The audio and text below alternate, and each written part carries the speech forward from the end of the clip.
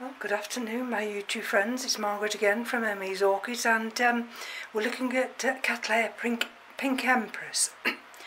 and uh, when this first opened, the first couple of days, I didn't detect any smell whatsoever, but now it's very highly perfumed. And um, I thought I'd just measure it. Um, if it allow me to. From there it's a good five inches. There.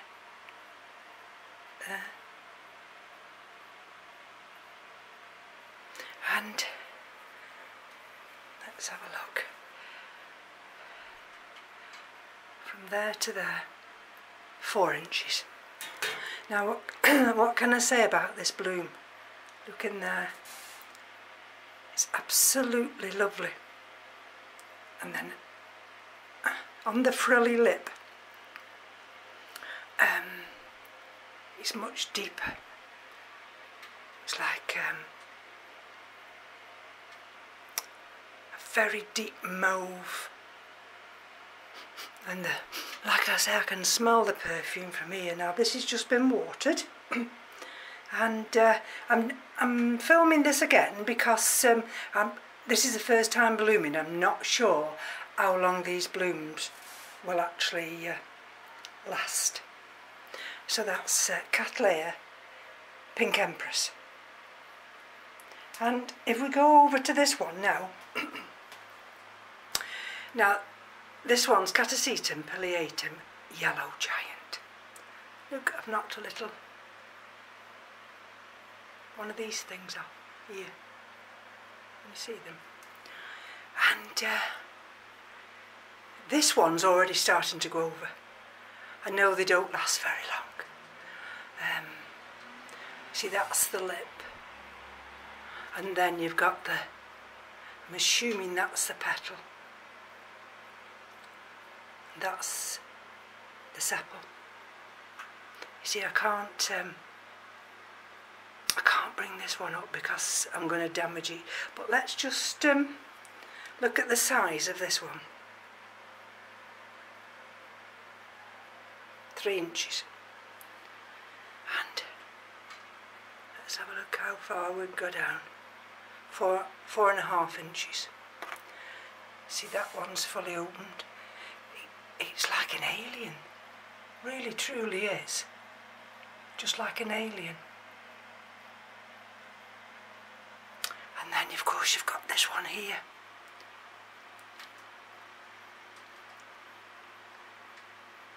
And I described the um, the smell as uh, when you crack open fresh peas. It's slightly um, sweeter smelling. You know, like when you taste, when you smell the peas when they've come out of the pod. It smells like that now. But there we go. To keep keep out of the way so you can see the depth of the yellow. See?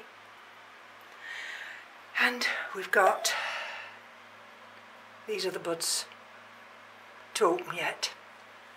And of course, Yen 24K, this is ready to be watered. As with that one.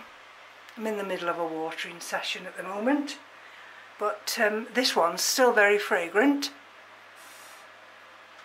This is actually showing a lot darker, the frill, than you can actually show on um, on camera. You see? That was a, a three inch, a little three inch bloom. There we go. So, uh, quite chuffed with that and of course this has been flowering the longest. And then uh, so that's one two three. I've got to be careful here because I'm in the middle of watering. And that's the uh, uh, Chysis Look at those buds dropping. So that's got to uh, those have got to come yet. I'm going to step down, watching where I go. It's like an obstacle course in here. And uh, of course we've got buds developing on that uh, No idea Nobly. Let's have a look. Let's put the ruler down for a minute. And, uh, oh, this one here, this is still um, flowering. This uh, Yaffon Green Canary. I checked all these yesterday. So what I do now, um, just to uh, enable me to not be pressurised into uh, specific days for watering. Um, I do some at a time. And this is what I wanted to ask. If anybody sees it. Now this has been in dormancy. This is another catasetum. This is from uh, Mark. This is catasetum orchid glade, orchid glade Davie Ranches. Dropped all its leaves. There we go, you see. And uh, it's dry as a bone. Gone into its autumn rest. But look, Can you see? There. Now I don't know. Let's turn around to get a bit more light. I don't know whether that's um,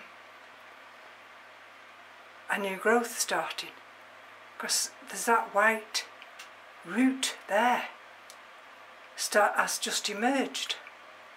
I mean, I saw this the other day and I put it back under the shelf because I thought, well, you know, I don't really know what it is.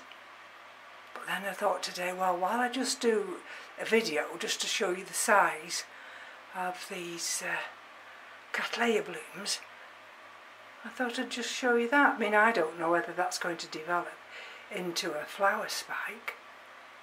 I mean, uh, it's dropped all its leaves. It's got a nice big thick bulb. And this one's just coming from under there. One, it would make, make me think that it's um, a new growth. I mean, some of them don't actually have a long winter rest, so, but I'm not sure about this. So what I'm going to do after, I'm going to take the label down there we are. I'm going to take my label down. Oh, I can't. Uh, I'm going to... Uh, there we go. I'm going to check it on the internet. And then uh, I'll be able to determine then whether it's going to be a... Uh, a new growth or it's going to be uh, a spike developing. Now all these ones in the little pots here they all got watered these will all have to be watered tomorrow those get watered by hand check them individually. You see I've got one down there and that's Delosa. I've got the Cattleyas in this one. I've got them everywhere and I've got them hanging. That's where what happens is they hang till uh, they're dry enough to uh, to put back. And uh, I was just checking on that one then. That's um, Leodora. Phalaenopsis Leodora. Anyway just a quick video today. Thank you for joining me and I'll be back soon. Bye bye now